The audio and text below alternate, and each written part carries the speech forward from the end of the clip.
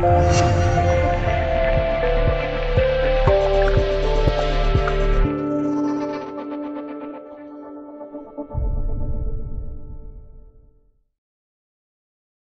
刺坐镇温布利大球场，面对巴萨来袭，仅仅坚守了不到两分钟就缴械投降。库蒂尼奥早早的进球也基本宣告了这场比赛将会是一场进球大战，而两支球队也的确联手贡献了六粒进球。不过在这六个进球当中，有两个进球是独属于梅西的。这场比赛梅西的表现相当出色，除了打中两次门框之外。下半场比赛，他还打进两球。也正是因为梅西的这两个进球，巴萨才得以从温布利带走一场胜利。而对于梅西来说，欧冠小组赛两场比赛过后，他就已经有五球入账。欧冠小组赛之王果然是名不虚传的。目前在欧冠射手榜上，梅西仍旧处于领跑的位置，而在他后面，离他最近的也和他有两球的差距。当梅西在欧冠赛场上大杀四方的时候，过往几个赛季的欧冠金靴得主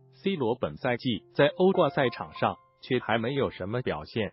小组赛首轮，C 罗面对瓦伦西亚不到三十分钟就被红牌罚下。尽管此后欧足联选择轻罚，但是他仍旧无缘了第二轮和年轻人的比赛，缺少了 C 罗的尤文图斯，依靠着迪巴拉的帽子戏法击败了年轻人。而 C 罗只能够眼睁睁的看着自己和梅西之间的差距再度被扩大。目前，梅西在本赛季欧冠联赛当中的进球数已经领先 C 罗多达五球。